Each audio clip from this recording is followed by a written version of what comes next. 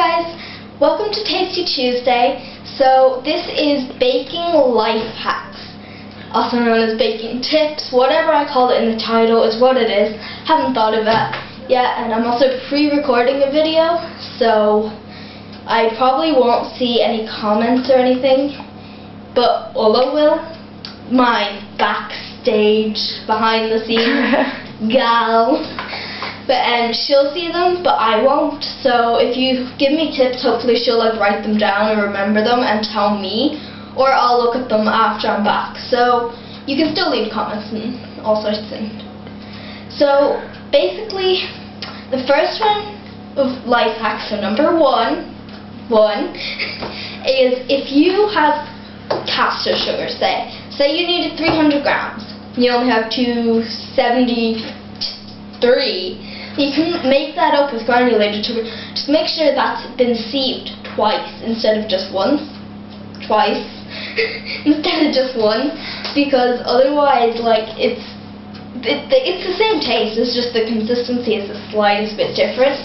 And the same goes if you um, if you're like 10 grams off of granulated sugar, just use caster sugar, but don't sieve it, sieve it, whatever you want to say. Um, second one is if you don't have an icing bag or if you have to make chocolate molds. Chocolate molds are pretty easy to freehand in my point of view. But what you need is a plastic bag, obviously some icing or chocolate or whatever, and then just like literally fill it up to like there and trim off the smallest corner. Like the smallest little corner because if you trim off like a big corner it's gonna come out to this massive hole and yeah, you're gonna like, unless that's what you want, I mean, yeah. So there's just my hole.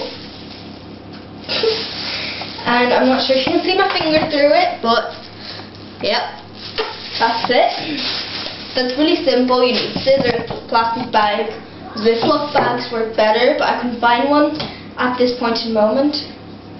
So next one is if you don't have um, self-raising flour, you're like 20 grams off. You can just use like plain flour. It's the same thing, except it won't raise. Like it'll still raise, but that 20 grams isn't so much of a big deal. So like, you can still use it. The next thing is if you want mini pancakes and don't want to get a mini pan, use a metal, not plastic, but metal cookie um, cutter with a round thing at the bottom just put that in the pan, pour in your mixture, and voila.